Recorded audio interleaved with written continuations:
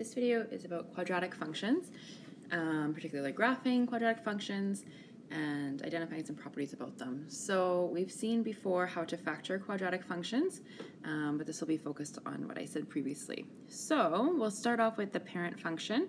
So the parent function for this would just be the very basic parabola with a vertex of 0, 0. So f of x equals x squared Okay, so if I were to graph that, um, again, you should have these parent functions memorized. So it is a vertex of 0, 0, and then when x is 1, y is 1.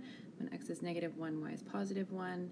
When x is 2, y is 4. And here, so it should be symmetric. And connect them to make a nice parabola shape. There.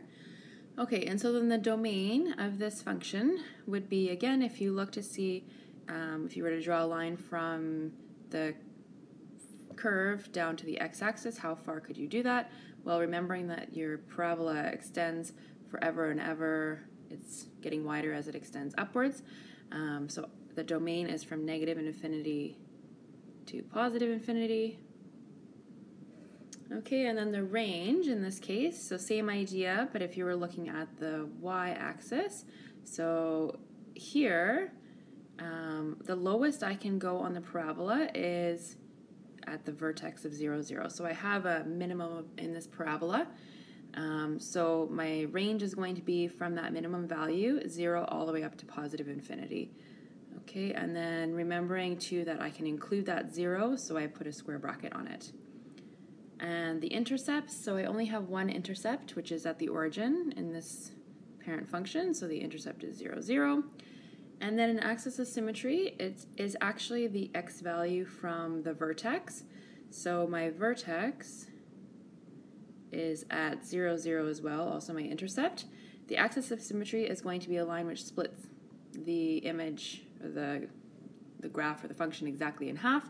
So if I were to fold um, over that line, the y-axis, I would see that uh, I'd match up on both sides. So my axis of symmetry in this case is x equals 0. Okay, so let's just see some general properties with quadratic functions. Okay, so the general form, or general equation for a quadratic for formula, quadratic function rather, is this formula here. So where um, hk is the vertex, so it can either be a maximum or a minimum um, depending on whether the parabola opens upwards or downwards. So if the parabola opens up, like we just saw in the parent function, the vertex is a minimum. If the parabola opens down, then the vertex is a maximum. The a value in this case dictates how wide the parabola is. So if the absolute value of a is less than 1, then the parabola will be wider than the original, than the parent function. Okay, and then opposite, so if it is greater than 1, it will be narrower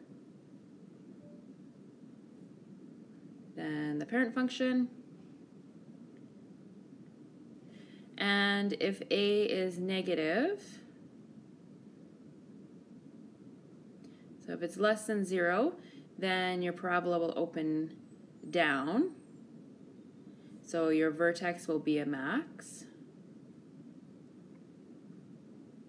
And if your A value is positive, then your parabola will open up and your vertex will be a minimum.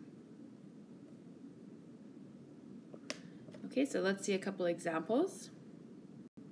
So the first one here, I have my quadratic um, in the general form that I saw before.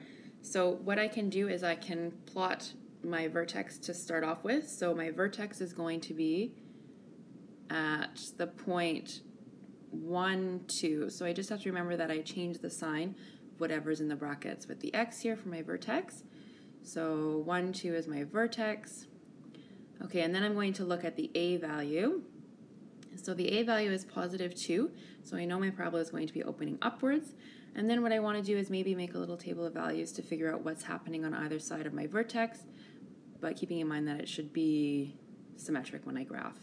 So to the right of my vertex, I have x is 2, and to the left of my vertex, I have x is 1. So when x is 2, if I plug that in here for x, um, I'll get 2 minus 1 is 1, squared is still 1, times 2 is 2, plus 2 is 4. Okay, and then if I plug in 0, I should get the same thing. So I'd have negative 1 squared, which is positive 1, times 2 is 2, plus 2 is 4 again. So I'm plotting the point 2, 4 and 0, 4. So I see here that my parabola is actually more narrow than my original parent function when my a value is greater than, or the absolute value of my a value is greater than 1. Okay, and then the domain of this parabola, so again, it's going to be all real numbers, so from negative infinity to positive infinity, because I could draw a line from my function to any point on the x-axis. My range though, so it has, it's opening upwards and has a minimum. So it's going to start at the minimum, which is a y value of 2, and then it goes all the way up to positive infinity. And the intercepts, well, I don't have any x-intercepts here, but I do have a y-intercept. So I see that I have a y-intercept right here at 0, 4. And my axis of symmetry, again, is going to be the x value from the vertex. So the vertex here was 1, 2. So if I draw a line at x equals 1 um, and fold my graph over that line, I'd see that both sides would match up. Okay, and let's see one more example. Okay, so same idea. Maybe I want to start with what is the vertex. So the vertex of this parabola is at negative 1, negative 1. So I'll plot a point there to start.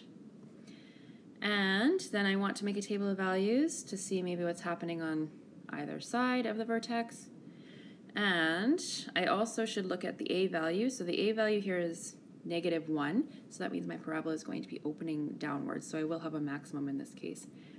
So to the right of my vertex, I have an x value of 0, and to the left I have an x value of negative 2. So when x equals 0, if I plug that in here, um, I would get 1 squared is 1, times a negative 1 is negative 1, minus 1 more is minus 2. And it should work out to be the same thing. It should be symmetric. So negative 2 um, plus 1 would be negative 1 squared is positive 1, but then negative again, so I would get negative 2 again. So I have the point 0, negative 2, and I have the point negative 2, negative 2. And I have my parabola opening downwards like this. Okay, so the domain in this one, again, it's going to be all reals, so from negative infinity to positive infinity. My range, however, it's going from, or sorry, I'm going up to a maximum. So I'm starting at negative infinity and I'm going up to my maximum height on my y on my y-axis, which is at negative 1, and I can include negative 1. And then my intercepts, again, I have no x-intercepts, but I have a y-intercept at 0, negative 2. And again, my x, or my axis of symmetry is going to be the x um, coordinate from my vertex. So if I draw a line here through x equals negative 1, I would get my axis of symmetry. Okay, that's it. Thanks for watching.